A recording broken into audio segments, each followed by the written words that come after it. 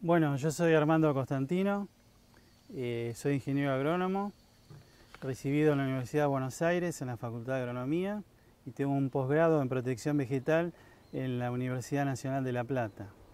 Y soy director de INTA San Pedro desde fines de diciembre de 2014. Siempre uno en la carrera va poniéndose metas y aceptando desafíos. Y esta era una barrera que yo quería superar y un desafío que quería tomar, el hecho de gestionar los destinos de la experimental de San Pedro por cuatro años. Y fue fundamentalmente un desafío personal y este, la aceptación, la aceptación de, de, esa voluntad de querer este, servir a, la sociedad y devolver eh, todo lo que, el INTA me dio a lo largo de mi carrera.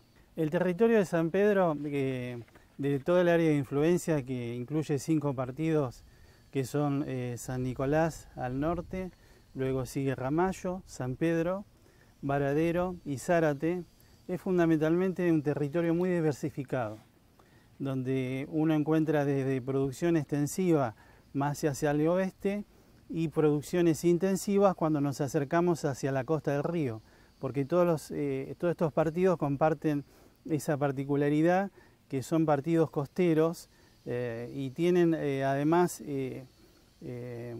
esa idiosincrasia de, que los hace muy particulares y con producciones también muy intensivas y producciones que a veces este, el INTA es como que, salvo la experimental del Delta, San Pedro no le ha dado mucha importancia, por ejemplo, a todo lo que es isla y pesca. Fundamentalmente, eh, eh, instrumentar y fomentar a partir, a través del INTA, eh, toda la llegada de políticas públicas del Estado Nacional hacia todas las audiencias este, y fundamentalmente hacia aquellos que, que menos tienen y que no tienen las cosas tan, tan resueltas. Yo soy un técnico de INTA, eh, nacido prácticamente en el INTA porque mi carrera se inició como, como pasante. Yo fui a, INTA en el año 85 a hacer una pasantía.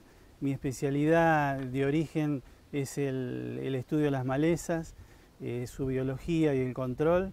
Así que vas a encontrar una persona que sabe relacionarse con el productor y con las demandas que, tiene la sociedad.